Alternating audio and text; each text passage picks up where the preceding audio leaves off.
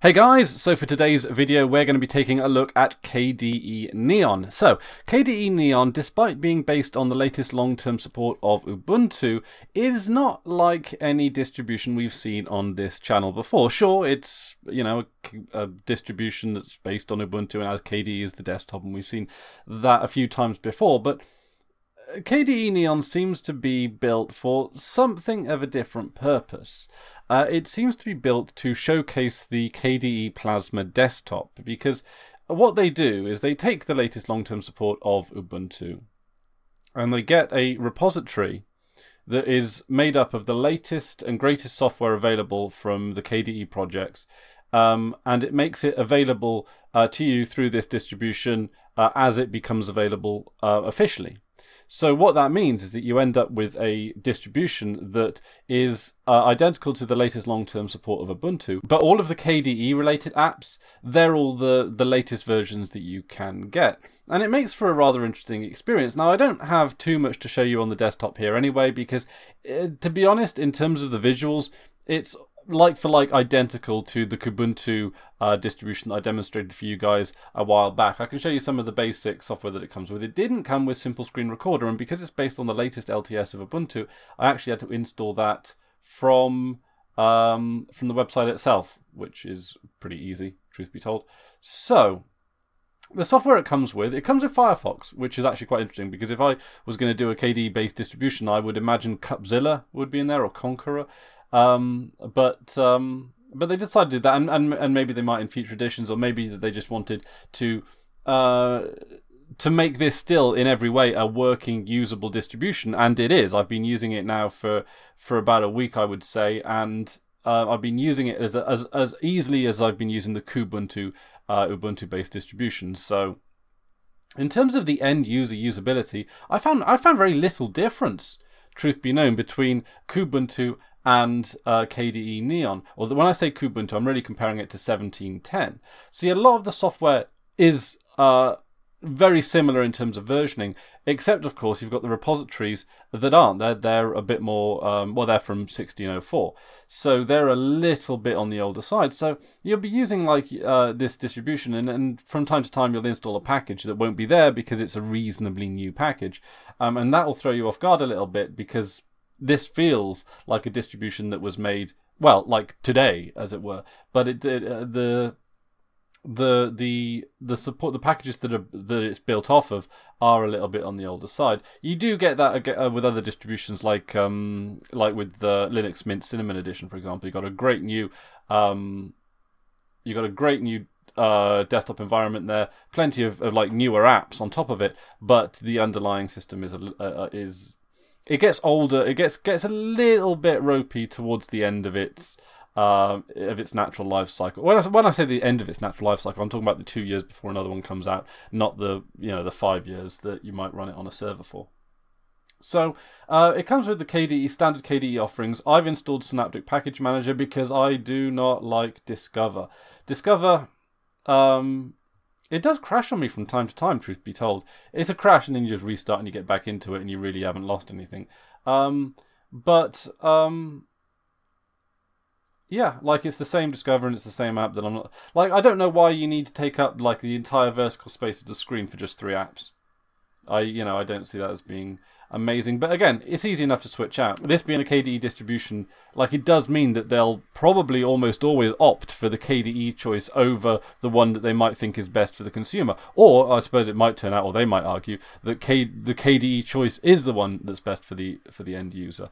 But it is worth bearing in mind that it seems like this is a distribution designed to showcase the KDE Plasma desktop before it's a usable, functional, user-friendly desktop for the end user although it is. So uh, now I've got on my second computer here, I've got the KDE Neon website up, and it does give you a Q&A. It's just worth reading the Q&A. Now the website itself is just a branch of the KDE um, website. It doesn't look especially user-friendly, but you also don't get lost in it either. So for example, on the download page, it'll give you like four versions, two developer and two um, like end user distributions. It's not too hard to work out the one that you want, but again, if you were going for like a super user friendly distribution, like for example Pop! OS, then you would only have the essential distributions on the front, and Pop! OS has uh, NVIDIA and non NVIDIA uh, versions, which I, I, think is actually a good way of doing it, but uh, we'll see if other distros catch on. But it says, what is KDE Neon? So it says here that KDE Neon is a rapidly updated software repository.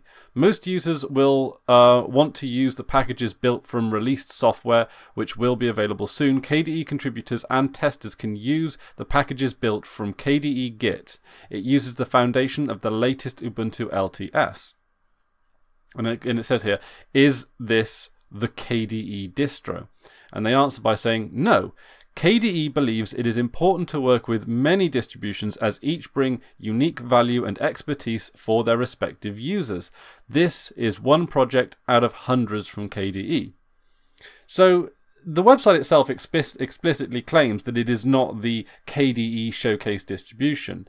Um, and if I was just handed this as a distro and say, all right, this is pretty good, make use of it, I wouldn't assume that it was either. So um, that's worth bearing in mind. However, when I read the website and I look at the distribution and I, you know, read between the lines, a lot of it does seem that KDE Neon is designed or envisioned as this distribution which, you know, if you want to see the best of what the KDE desktop can offer, you know, this is it. And I mean, if I'm completely, you know, honest here, the KDE desktop um, from from Kubuntu, from the latest Kubuntu, is great. The KDE desktop from KDE Neon is great. There isn't really that much of a difference between the two. If you gave me one, you gave me the other, but was you know switched the names around, I probably wouldn't notice in a lot, of cases. Except of course in the cases with the the slightly older or fewer packages in the long-term support repository. So, um, I can't necessarily imagine the kind of user that would want the latest and greatest cutting edge KDE software, but want that on top of a um, long term support version of Ubuntu. I can't imagine like an end user that would want really new and up to date software in, in this particular capacity, but not over here. And, uh, you know, I suppose to that end, I would assume that for more of a KDE showcase distribution, maybe you know like I, I would have naturally gone for an arch based uh, setup because as i understand it kde gets released on arch incredibly quickly as well. Basically between a few hours between this and, kde neon i'm told. So um, but um, i've been playing around with it for a week as a day-to-day use desktop and it's great. Like it is. It's great.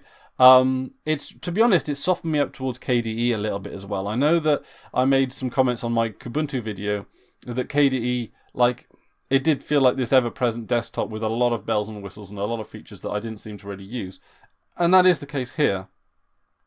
But for something that you can just pick up and use, no fuss, no muss kind of thing, it works well. It works well. It runs smoothly. Uh, if I want an application for I love the KDE launcher. You can just push the meta key, Windows key, super key, whatever you want to call it, and then start searching and you've you know you, you're already there. You're already you know you've already got what you want. Um, and it's smooth and it looks nice. And maybe the text is a bit small and there isn't enough contrast for um, you know users with any kind of like visual impairments or accessibility issues. But you know, and and and the theming issue still stands. I don't like how they, um, uh, for example, if you go to like look and theme here and you go to get new looks, it'll come up with a whole bunch of stuff here. Now, as I'm t- I'm told, the Adapta KDE is actually quite a nice um, look here. But you get you download like the look and feel, which is like the overall theme for the entire desktop and apps and all that kind of stuff. Very few of those ever work. Um, and then you've got get new looks on things like the desktop theme as well. So install new theme down here. Uh, and it gives you a few more options when you sort of crawl into it. And I think one of the things I was thinking to myself about KDE's customizability is that there appear to be a lot of options but at the end of all those options, in a lot of cases, I still feel like I have to make some kind of compromise in the usability in some way or another. Um, so it feels like you know options don't equal customizability, but um, but all in all, like it's a solid distribution. Like I installed my Dropbox. Dropbox sometimes gives some desktop environments a bit of grief. Uh, I've installed Redshift GTK version because that's that's just the one I use, but it works fine. It works flawlessly.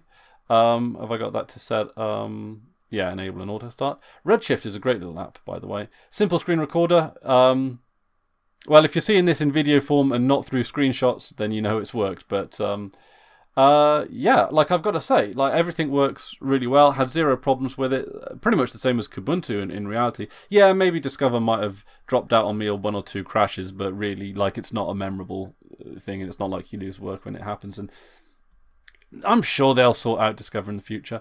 So, uh, and I know a lot of people who follow me on Mastodon actually use KDE Neon and have found it quite enjoyable as well. So, it's definitely got its user base, and um, there's definitely a fair number of people that are quite fond of it. Um, I believe, in fact, Chris Fisher from Jupiter Broadcasting uh, managed to revive like a really old laptop by putting in a solid state hard drive, uh, a good graphics card, and um, KDE Neon because you know those things can can sort of um, they take a lot of the load off the processor i'm told so it can actually make computers last a significant amount longer which is which is always good. So all in all, a really good distribution, and I've had pretty much zero issues with it. Now, one thing I will say before I go, now it's a little it's a little bit difficult to try and work down what the end user, the you know what the the stereotypical end user for this kind of distribution might be, because on one hand you've got the latest and greatest KDE packages, but on the other hand you've got Ubuntu L- LTS other packages.